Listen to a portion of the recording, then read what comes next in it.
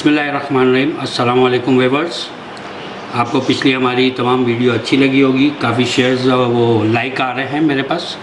Comments भी आ रहे हैं और जिसके लिए थैंक्स मुझे ये पूछा गया था कि क्योंकि मैंने ये बताया हुआ था कि मैं एक ऐसी रेमेडी बताऊँगा जो पैर से सर तक कोई भी रग या कोई भी वेन अगर आपकी ब्लॉकेज होगी वो आपकी इससे खुल जाएगी। मतलब वो रेमेडी मैं आपको बता रहा हूँ शेयर कर रहा हूँ। मैंने खुद भी आजमाई है और मैंने अपने रिश्तेदारों में और मेरे फैमिली मेंबर्स में भी मैंने जो एज हो गई उनको भी उन पर भी मैंने ये आजमाया था। तो रियल में बहुत अच्छा रिज़ल्ट मिला मुझे और मेरे अपने लिए भी आ, कुछ साल पहले मेरे साथ ये प्रॉब्लम आया था। शेटी का पेन इसको कहते हैं जो पैर से बैक की साइड से शोल्डर तक आता है कंधे तक आता है। तो इसको आप देखें किस तरह पहले तो ये आप देख लें। मैंने एक ग्राम, मैंने एक ग्राम दालचीनी लिए दस ग्राम काली मिर्च, दस ग्राम अलसी के फूल, अलसी ले लें, दस ग्राम खड़ी शक्कर।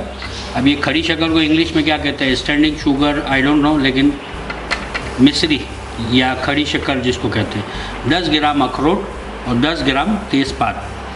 अब हमने इसको अच्छे से ग्राइंड कर लेना है मिक्स कर लेना है और इसकी 10 पैकेट बना लेना है 10 हिस्सों में इक्वल डिवाइड कर देना है। रोज़ाना सुबह निहार मुँह हमने इसको खाना है। रोज़ाना सुबह निहार मुँह जो 10 पैकेट बनेंगे, मैं आपको बना के दिखाता हूँ, इसके 10 हिस्से करने हैं। 10 हिस्से करने के बाद इक्वल पार्ट में रोज़ाना सुबह हमने खाना है। ये कम अज़ कम एक साल में या छः महीने में आप एक मरतबा ये करें, आपका दर्द कहाँ भाग जाएगा, आप खुद देखें। और अगर फिर दोबारा अगर कभी दर्द होता है, फिर अगर आपको कभी पेन होता है, हल्का लाइट फील होता है तो फिर भी आप ये, आप इसको आजमाएँ। गोलियों और इन चीज़ों से आपको जान छूटेगी और दर्द से भी आपको दर्द रिलीफ मिलेगा। और ये बहुत अच्छी रेमेडी है, आप इसको आजमाएँ ट्राई करें। क्योंकि मैं खुद कोई भी रेमेडी आपके साथ शेयर करता हूँ। सबसे पहले मैं अपने पे या अपनी फैमिली पेज पे ट्राई करता हूँ चेक करता हूँ कि आया इसका रिज़ल्ट क्या है। मुझे इसके रिज़ल्ट बहुत अच्छे मिले थे तो मैं आपके साथ शेयर कर रहा हूँ। अब हम मिक्सिंग जार में ये तमाम चीज़ें डाल रहे हैं। ये एक ग्राम है, ये याद रखिएगा, ये दस ग्राम नहीं लेनी, दालचीनी तज जिसको कहते हैं, ये हमने सिर्फ़ एक ग्राम लेना है। ये अखरोट दस ग्राम हम इसमें ब्लैक पेपर काली मिर्च डाल रहे हैं। दस ग्राम हम इसमें ये अलसी डाल रहे हैं। ये देखिए, इस तरह की ये अलसी है। ये हम इसमें डाल रहे हैं।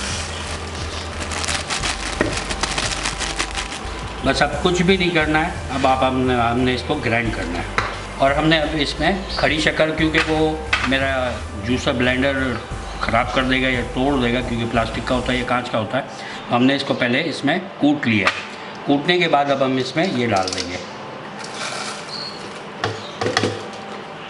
ये खड़ी शक्कर मैंने 10 ग्राम ली थी।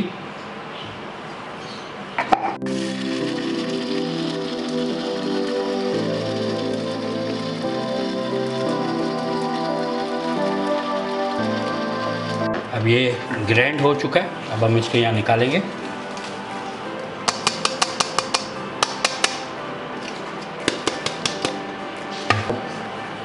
आप देख रहे हैं हमने इसका पूरा पाउडर बना दिया सफूफ कर दिया आप जितना बेहतर से बेहतर हो सकते हैं, इसको ग्राइंड कर सकते हैं। अब इसके इक्वल दस हिस्से कर देने दस पार्ट कर लेना दस पार्ट अलग अलग ऐसे छोटी छोटी पुड़ियाँ बना के अब आप देख रहे हैं कि ये हमने दस हिस्से किए हैं। आप कोशिश करें कि ये सेम टू सेम बने। सबके इक्वल डिवाइड हो। मेरे इसमें बहुत फ़र्क आ रहा है। आप इसका वज़न भी कर सकते हैं या अपने अंदाजे के हिसाब से दस हिस्से बनाने हैं। दस हिस्सों को रोज़ाना सुबह ये एक हिस्सा जैसे है। आप इसके एक पैकेट बना लें या जो भी कुछ करके इसका एक पैकेट लेके इसकी दस पैकेटें बना लें। रोज़ाना सुबह निहार मुँह आपने ये खाना है, पानी लेना है और उसके बाद नाश्ता करें। ठीक है? बेशक ज़िंदगी और मौत अल्लाह के हाथ में लेकिन सेहत हमारे हाथ में सेहत है तो जहाँ है सेहत है तो सब कुछ है। तो लिहाजा आपको ये रेमेडी पसंद आएगी क्योंकि ये बेहतरीन एक ऐसी रेमेडी है जिससे आपका शेटी का ख़ास तौर पर शेटी का जो बेक बैक पेन या अर्कुन निशा कहलाता है उससे आपको रिलीफ मिलेगा और वो झंझट या वो मस, मसला ख़त्म हो जाएगा। अब एक तरीका हमने बताया था कि उसकी पुड़ियाँ बना के यानी दस दिन के हिसाब से आपने बना लेना है। या तो आप इसे एक साथ किसी जार में रख लें और रोज़ाना सुबह दस दिन के लिए, दस दिन से ज़्यादा नहीं करें, लेकिन दस दिन के लिए आप अपने हिसाब से इसका अंदाज़ा लगा लें कि आपने रोज़ाना कितना ये लेना है कि ये दस दिन में ख़त्म हो जाए। अगर आपको मेरी ये वीडियो पसंद आई है तो आप इसे लाइक करें, शेयर करें, सब्सक्राइब करें। थैंक यू, अल्लाह हाफिज़, टाटा बाय बाय